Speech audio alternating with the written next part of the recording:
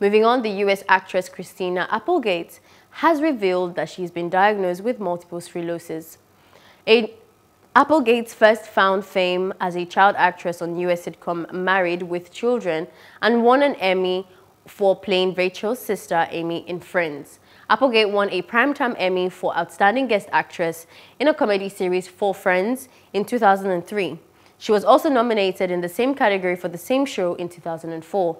She was then nominated for Outstanding Lead Actress in a comedy series for Samantha Who in 2008 and 2009. In 2019 and 2020, Applegate was nominated in the lead actress category again for Dead to Me, which was also nominated for Outstanding Comedy Series.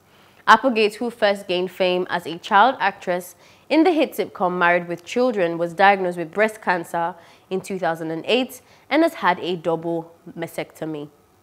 Hello, hope you enjoyed the news. Please do subscribe to our YouTube channel and don't forget to hit the notification button so you get notified about fresh news updates.